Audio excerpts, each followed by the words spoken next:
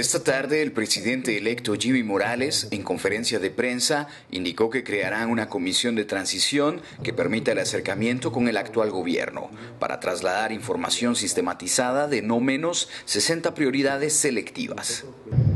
De acuerdo a conversaciones que se tuvo con el presidente Maldonado Aguirre, eh, nos pidió que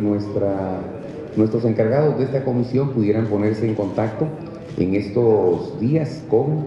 la comisión que ellos van a nombrar y así poder empezar a analizar y hacer un diagnóstico de cómo están todas las instancias del Ejecutivo. Además, informó que su equipo de trabajo está coordinando una gira para invitar a los presidentes de la región a que puedan asistir a la toma de posesión y al mismo tiempo dialogar de temas de interés para los países centroamericanos.